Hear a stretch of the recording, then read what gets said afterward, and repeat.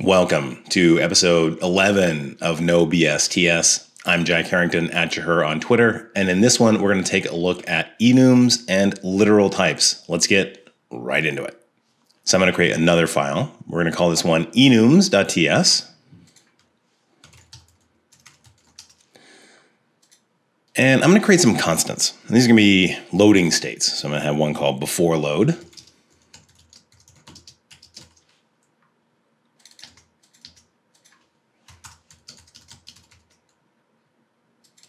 I'm to have another one called loading. And I'm to have another one called loaded. So building on top of that, I'm to create an is loading function.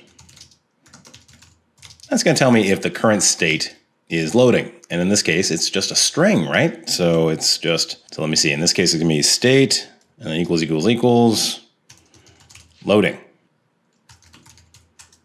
Eh, okay. So I can go in here and I can say is loading dog, right? And it's going to return false because dog is not the same as loading. So this is not great. I've seen this happen a lot. And really, what this is, is that these three constants are actually related and they're essentially mutually exclusive. So, the better way to model this is with a feature called an enumeration. So, I'm going to make one and we'll call it loading state. And we're basically just going to take these values and kind of paste them in there, but get rid of that const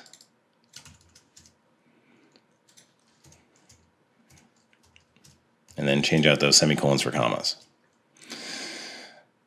All right, now in this case, we can go down here to is loading. We can say that state is a loading state. And then we can compare it to loading state dot loading. Let's get rid of these because they're no longer necessary. And now we're here, now I'm getting an error. I'm saying that's not a loading state. So I can just do loading state dot and I can get hinted with all of the different discrete states. There you go, before load. Now, you actually don't even need to do this equality here with these strings. You could just do something like that. But in that case, you're just going to get either zero and an ascending value from zero. So before load would be zero. In this case, if I were to take this one off, loading would be one and loaded would be two. But I actually prefer to use strings if it is an actual uh, kind of system like this, because if I want to be able to console log it later, then I'm going to get something like before load as opposed to zero or one or whatever. So how would I use these in other scenarios? Well, let's take, for example, a map. I'm going to create a map to English strings for this.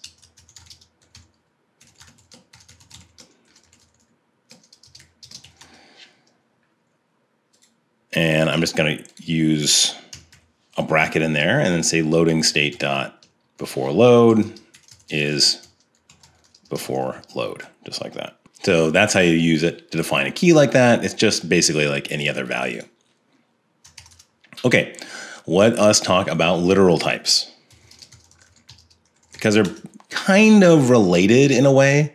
So I'm to make a, a new function called roll dice. And we're going to assume that we're D&D players. So we want a number of dice that we're going to roll. And it's going to return a number. And then let's just implement it right away. Let's yeah, let i equal zero. i is less than the number of dice. Go on to the next i, and we'll have a, I guess a pip count. Is that what they call it? And then we'll do pip plus equals, we'll do, I guess, six-sided die. So math.random times five plus one, I guess. But that would be floating point. We don't want that. So let's floor that. And I think that's actually probably going to do the right thing. So let's return that. And then we'll do a console log. I'm going to roll dice for four dice. And let's do a test on this. Let's do, again, npx ts-node, and then do our enums. And we get false, which comes out here for our is loading state. And then uh, 15 which would be, I guess, you know, four times some random number on those dice. That's great. But what happens if I want to constrain that number down to just one, two, or three dice? We only have 1d6, 2d6, or 3d6. Really easy to do with a numeric or a number literal, or just basically a literal type. So let's do one, two, or three. So in this case, the only values that we are willing to accept for dice are either one, two, or three. So in this case, four is invalid, three is just fine. So another variant on a literal type is a string literal type, and you see this a lot. So I'm going to use that to create a send event, which is a variant on our functional overloading stuff that we learned about in episode four. Let's give it a try. So I'm going to first create a send event. And it's going to have an event name, just string, and then some data, which is going to be essentially unknown at this point. Don't know what the data is going to be. And we'll just console log that out. JSON, stringify, whatever we get in there for data. And this is going to return a void, but we do actually know what the events are. So let's go and create new functional overloads. And for the first one, we're going to say that the name is checkout, and the data in that case is whatever's in the cart, cart count, which is a number. And we'll make one more. We'll say, you know, add to cart. This is my e-commerce experience coming back. And then product ID, which is also a number. So now when I do send event, if I specify add to cart as an example, then when I do data in this case, I'm hinted that the only thing that I can put in for data for the add to cart variant is that product ID make it a, a number, whatever, fine. So these are string literals.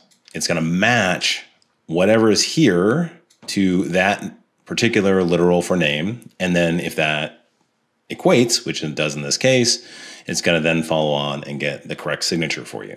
And you see this with functional overloading. You also see this in interfaces. And it's just great stuff. It's another great feature of TypeScript that I can't wait for you to check out. All right, well, I hope you enjoyed this quick look at enums and literal types. In episode 12, we're going to look at classes and get into implements and member visibility, which are great new features of TypeScript that extend your ability to do object oriented programming in that context. Can't wait to see you there. Of course, in the meantime, if you like this video, feel free to like and share it with your friends. If you really like the video, feel free to hit that subscribe button, ring that bell, and you'll be notified the next time a new No BS TS episode arrives.